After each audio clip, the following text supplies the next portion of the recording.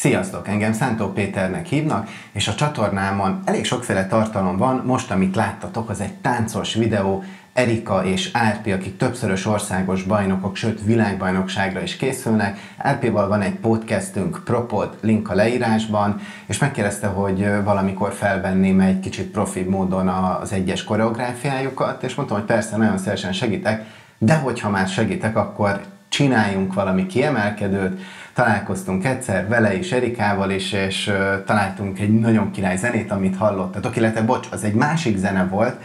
és így eszünkbe jutott egy ilyen dzsungeles feeling, és szerencsére a 26-el együtt tudtunk működni, Ez, ezúton is köszönöm nekik, hogy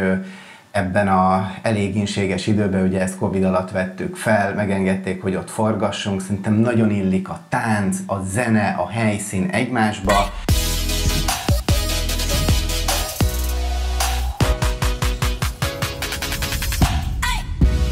Beszéljünk egy kicsit arról, hogy mégis milyen volt maga a forgatás. Ott ö, nem vettem fel behind the scenes-eket, lehet, hogy hiba, de annyira elkapott a flow. Ami nehéz a, a többi videómhoz képest, ahol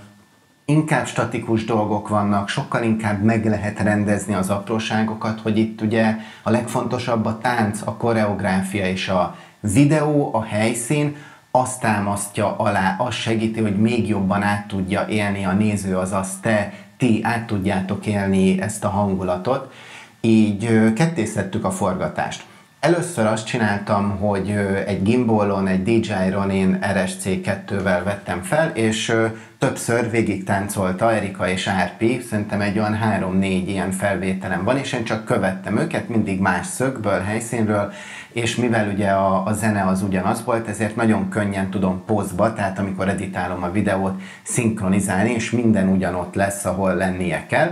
Ez volt az alap, és így is tudtam már különböző szögeket változtatni, Viszont, ahogy láttátok a videóban, rengeteg ilyen közeli vagy apró mozdulat van, még jobb mélységélességgel. Ugye a mélységélesség az, amikor a háttér, mint nálam is láthatjátok, teljesen el van mosva. Ezeket pedig nyilván, mivel tudták árpiék a koreográfiát, úgy tudtuk megcsinálni, hogy az adott dolgokat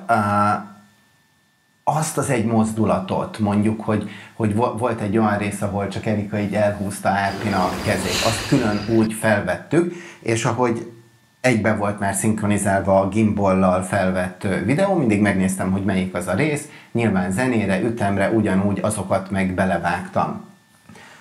nem lehetne egy videó, legalábbis amit én csinálok úgy kész, hogy ne használjak rengeteg hangeffektust, ezért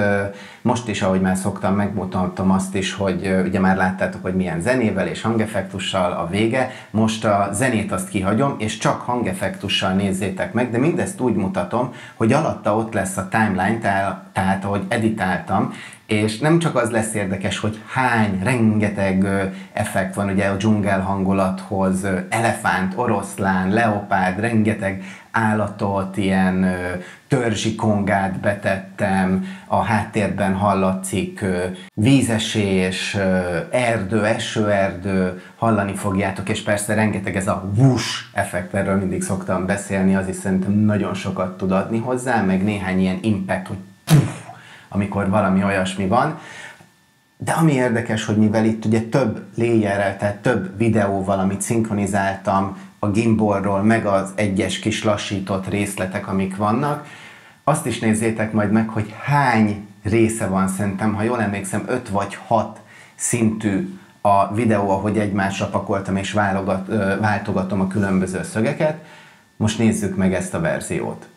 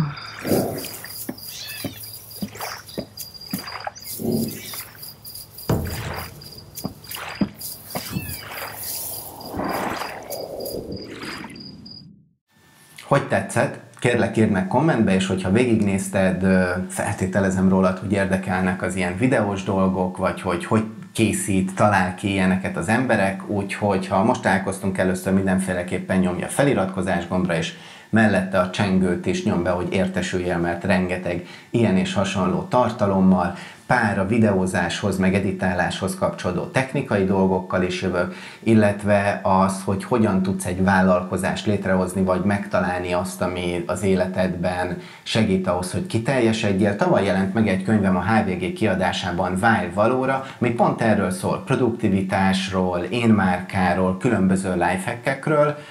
a leírásban ott van a link, a link, ahol meg lehet venni, de amúgy tavaly csináltam erről egy napi vlog sorozatot minden fejezetről, úgyhogy ha érdekel,